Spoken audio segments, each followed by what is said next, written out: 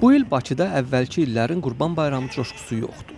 Pandemiyaya görə bu il diri qoyun satış yerləri çox az gözə dəyir.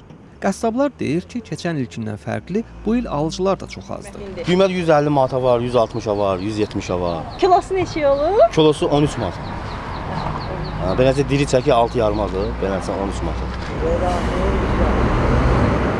Eldəniz Hümmətov hər il Qurban Bayramı ərəfəsində Azərbaycanın müxtəlif yerlərindən diri qoyun gətirib Bakıda satır. Deyir, keçən illə bu ilki satışda yarı-bayarı fərq var. Bax həmişə Qurban bayramında elə bil 10 gün qalmış gəlib cəmaət ət alırdı, quzu alırdı. Məsəl üçün gəlirdi, hamı gəlib yığışı alırdı. İndi yoxdur. Cəmaət gəlmir. Eldəniz Hümmətov deyir, adamların küçəyə SMS icazəsi ilə çıxması da alıcılığa çox təsir göstərir. 3 saata şəhərdən gələ bilmir. Adama şəhərdən gələ bilmir. Ona görə taksi zakaz versin, gəlsin, alsın, diri aparsın, həyətinə kəssin. Ya da burada kəsmə elə bil arası bir yarım saat çəkir də. Təm kəsilir burada, təmizlənir, eləyir, doğranılır. Arası bir yarım saat çəkir. Yəni o da klientlərə elə bir sərf eləmir də.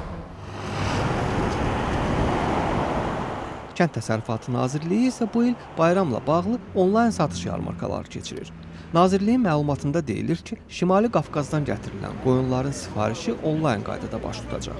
Bunun üçün artıq müxtəlif ünvanlarda ət kəsimi yerləri ayrılıb. Onlayn növbələr iyulun 31-dən sayt vasitəsilə aparılacaq.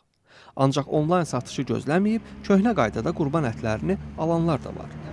Sorğumuzda iştirak edən bir neçə Bakı sakininin bayram qabağı ovqatları isə belədir. Keçən ilki bayramın əhval-ruhiyyəsi bu ilkindən çox yaxşıdır.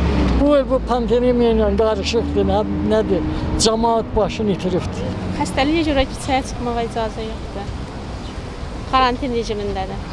Əsas ili keçirmək istəyirik, bayram o elə qalsın. Hələ bu ili qutaraq, sonra bayramın gələn illərdə də keçirək. Yəni bu pandemiya ilə əlaqədar olaraq düzü cəmaətdə əhval-ruhiyyə yoxdur. İstərdik ki, gələn il inşallah Qurban Bayramımız çox yaxşı keçsin.